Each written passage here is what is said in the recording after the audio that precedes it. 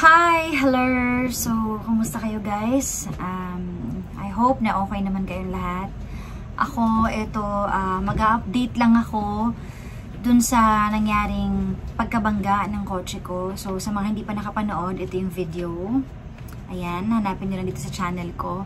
So, last week, nabangga po yung sasakyan ko na hindi ako yung nagda-drive. Actually, nakakalungkot nga lang dahil uh, pangatlong beses na nangyari na iba yung nagda-drive at nababangga yung sasakyan ko. Pero ako mismo na may-ari, never ko pang, parang never pang nangyari sa akin na nabangga talaga ako kahit medyo bargas po ako magmaneho, aaminin ko yan. Pero yon Pero dahil aksidente, nangyari na, wala namang may gusto. Ang masakit lang na part, eh itong gawaan portion. Ayan, so Itong pagpapagawa, syempre dahil nakabangga po tayo ng ibang sasakyan. So, ang nag-aasikaso po nitong lahat ay si Papa Jackson. And thankful naman ako dahil uh, kahit paano, dahil tulala nga ako at stress ako, hindi ko kaya asikasuhin yung mga ganyang bagay. So, siya yung nag-aasikaso. Pero medyo kagabi, talagang parang aatakihin talaga ako sa puso. Sobrang sakit talaga ng nararamdaman ko na naiyak na lang ako ng naiyak. Kasi ano eh, hindi naman siya ganun na... Ah... Uh, Ako ba, sobrang bigat talaga. Hindi naman siya basta-basta ano lang eh. Problema na maliit. Kumbaga, malaki kasi yung gastos. Kaya medyo talagang heartbroken talaga ako last night. At iyak talaga ako ng iyak. Sobrang bigat. Dahil sa sarili ko nga, sobrang kulipot ako. Hindi ako makapaglabas ng pera. Kahit ngayon dinala ko sa lolo ko na upuan talagang isang linggo kong hinanapin kung saan ako mas makakatipid para lang sa isang libong makakatipid ako. Yun talaga yung pinili kong bilhin.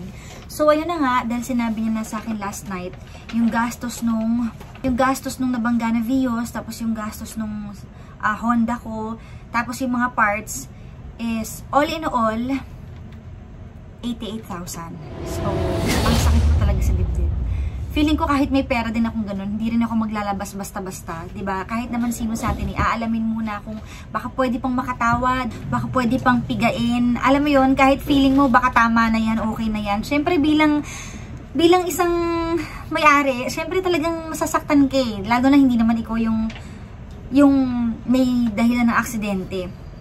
So yun, ito try pa rin natin lahat ng paraan para makatawad pa rin tayo. Kaya today pupunta po ako ng talyer. So, ayun. Kasi, wala talaga akong alam sa kotse as in wala. Pero, may mga nagsasabi din daw na medyo mahal. And, gusto ko rin talaga makita at saka gusto ko rin alamin, ba diba? Siyempre. Ayun. So, thankful din naman ako sa RJL Parts. Ayan, dyan sa Banawe. Kasi sa, kan sa kanila ko po nabili yung mga pyesa na gagamitin. Pero, ito nga yung breakdown eh. Yung pyesa na gagamitin, nasa 20 plus thousand sa both ano na yun ha, ah, sa both car. Yan, ewan ko lang kung ano masasabi niya about this kasi wala talaga akong alam. So, 21,000 sa para, para sa Vios at saka para dun sa Honda ko. Tapos, 37,000 yung labor. So, medyo nasaktan ako kasi parang ba't ganun mas mahal pa yung labor? O baka talagang ganun talaga kalaki yung tama. Ewan ko, wala talaga akong alam. 37,000 yung labor sa Vios, tapos yung labor dun sa Honda ko is 27,000. So, medyo mabigat talaga.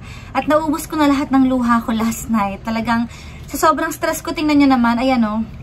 Pag stress po kasi talaga ako, lumalabas yung mga ugat ko dito. Ayan o. Oh. Ayan. Medyo nag-subside na nga eh. Medyo nawala na. Naglalabasan po yung mga ugat ko dyan, kaya tinatago ko. Yan. Pero, yun ang effect sa akin ng stress kapag masyado ako nag-iisip. Lumalabas. Kagabi, sobrang labas na labas yan. As in, parang pipintig na talaga. Masaka talaga yung dibdib ko.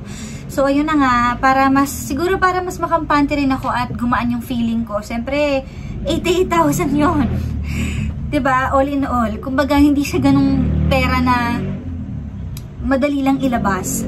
Hindi din naman ako mayaman, ba diba? So, yun, sobrang stress talaga ako at nalulungkot. Pero, tignan natin, baka pwede pa tayo makahirit sa kanila. Kahit sabi naman ni Papa Jackson, mura na daw yon Pero, wala eh. Gusto ko pa rin talagang itry. And, ayun, sabi din nila na umurong daw yung makina. Ang tanong ko naman, kung umurong yung makina, bakit nadadrive pa yung sasakyan? Ewan ko kung mali ako. Correct me if I'm wrong. Sa bagay na yan, wala talaga akong alam. So, oh yun. So, mahal daw yun, yung pag-usog daw talaga. Pero, nag, nagtatanong-tanong na din ako. Para siguro para lang makampante talaga ako. Ganon. Siyempre, stressful talaga to eh. So, ayun guys. Today, samahan niyo po ako sa talyer and Malitaan ko kayo later kung ano yung mangyayari, kung magiging okay bang lahat, kung ganun ba talaga kalaki yung magagastos ko, or baka sakaling pwede pang hiritan, or kung ano man yung pwedeng gawin. So, let's go. Tapos, ito, yung yumupi ito eh, hanggang doon eh. Opo. Oh, yan dalawa lang. Tapos Pero ano po yung, sabi daw po umusog po yung makina? Hindi. Ah, hindi po umusog. Wala. Sa ilalim yata umusog? Paano po umusog? Wala naman. Yun, yun. Yun pa kayo sa ilalim. Ah, ko yung sa akin po yung umusog. Oo. Yung sa ilalim, actually hindi siya makina. Frame siya ng ano. Ah, frame ng- lang? Frame siya ng katawan. Kasi Kaya- akala ko nga, pag umusog po yung makina, hindi under yun.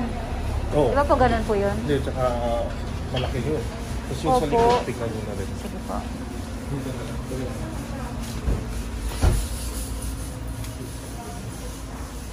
Ito. Ito yung, eh, ito yung gumalaw eh. Ito po. Oo. Kung nag-trample yan, eh, hinatak na lang yun. Tapos, ito pa. Ito, pumasok to eh.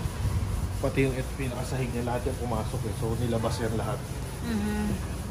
Tapos, ano, ito lang, lang. Saka ito, Opo. yun na yun. Tapos yung bumper test. Tapos yung retainer, yung nandito, yun kailangan ng isa. Ito, yung retainer dito. Parang ganyan siya kaso Mm. dito siya. Diyan kasi kung sumasampa yung bumper, Opo. yun, yan, kung makikita mo may mga clip-clip yan, diyan nakiklip yung bumper. Mhm. Ba't sinaw? Kasi yung sa kano kailangan mo yung may... May ano siya, pwede mo siya rin sa pangit. Mga tulog, guys. Nalalata ako. Kasi yung ordinary yung ano bibigay sa kailangan. Kasi hindi ko. Guys, so kadarating ko lang sa bahay ngayon. Pagod ako, alam mo yung pagod yung isip mo, yung dibdib mo. Basta pagod yung utak ko ngayon. Sobrang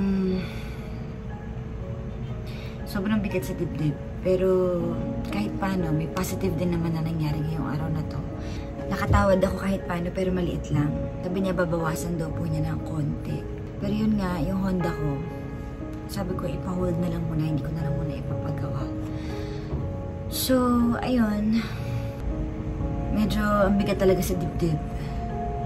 And and ayan. Pakita ko sa inyo kung ano yung yung breakdown para maintindihan nyo rin. Ayan. So, ganyan po talaga kalaki kapag na-aksidente yung sasakyan mo. So, all in all, sa buong kwentong ito, ang masasabi ko lang is, syempre may lesson din tayo matututunan dito. Siguro number one, mag-ingat talaga tayo. I-check natin mabuti bago umandar yung sasakyan kung ano yung tatapakan natin or hahawakan natin. Double check talaga. Hindi porket magaling ka na magmaneho or or maingat ka, eh wala pa rin aksidenteng mangyayari. So, double check. And pangalawa, um, medyo masakit kasi ilang beses na rin naman ako nabangga. Pero yung sakit ngayon, iba kasi dahil, in, ano eh, dahil ako yung magbabayad. Alam niyo yun, yung dati kasi, ako yung nababangga. So, kahit masakit sa part ko na nasira yung sasakyan ko, alam ko na at the end of the day maaayos at wala akong ilalabas. Pero ngayon, medyo mabigat pa, tapos malalim pala talaga yung, yun nga, yung mga sira. Kaya, mabigat talaga sa dibdib. So, so, ituring din siguro natin na yung sasakyan natin ay, alam niyo yun, na isang gamit na kailangan yung pangalagaan talaga na hindi siya basta-basta pwedeng ipahiram or ipagamit. Yung ganun. Well, alam ko naman na hindi naman sinadya ng kaibigan ko and aksidente naman talaga.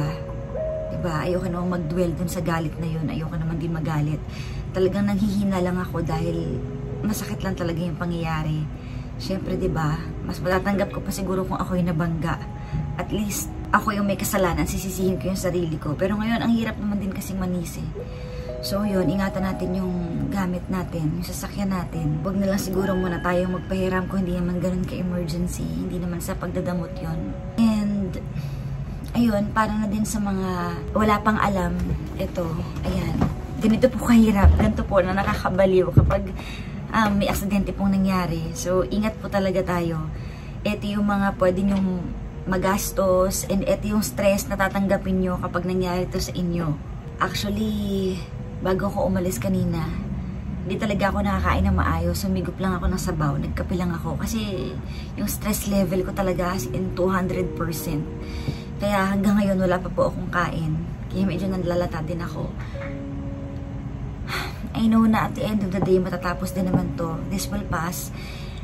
Pero, ayun nga, nakakalungkot talaga. Nakakalungkot kasi stressful. And syempre, hindi naman tayo mayaman. Kaya, kaya ganun talaga siya kabigat. Alam nyo naman. So, ayun, magpapahinga na muna ako for tonight. Ipapahinga ko yung utak ko. Dapat uuwi ako ng Batangas kanina pero hindi ko na nagawa. So, pahinga na muna ako. And so baka bukas, bukas na lang ako umuwi. Saglitan lang din ulit ako. Kukunin ko lang yung mga tableya sa bahay. Yun. Actually, pinost ko na yan sa mga social media accounts ko.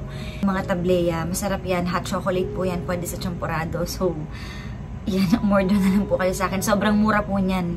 Kasi, kung pupunta po kayo ng Batangas at maghahanap kayo ng tableya, ganyang presyo din po yung makukuha ninyo. Sobrang konti lang po talaga ng tubo ko dyan. So, ayun, kunin ko muna sa bahay yung mga tableya. Baka bukas, mag-vlog na lang din po ako para makabawi-bawi din sa mga ilalabas kong gastos dito sa pangyayaring ito. So, ayun lang, yun yung update. So, ayun lang. Thank you so much. Sobrang stress talaga ako. Sorry, pasensya na. Kanina pa ako umiiyak, kagabi pa actually. So, ayun, sana malagpasan din natin to. Keep safe everyone. Please, maging maingat po tayo ngayon. Hindi porket COVID, eh walang mangyayaring aksidente sa kalsada dahil maluwag. Doble ingat pa rin po tayo sa lahat. Actually, sa lahat ng bagay, doble ingat po tayo. Laging kailangan gising na gising tayo and aware na aware tayo sa mga nangyayari. Yun lang. Thank you so much for watching this vlog and don't forget to like and subscribe. Bye-bye.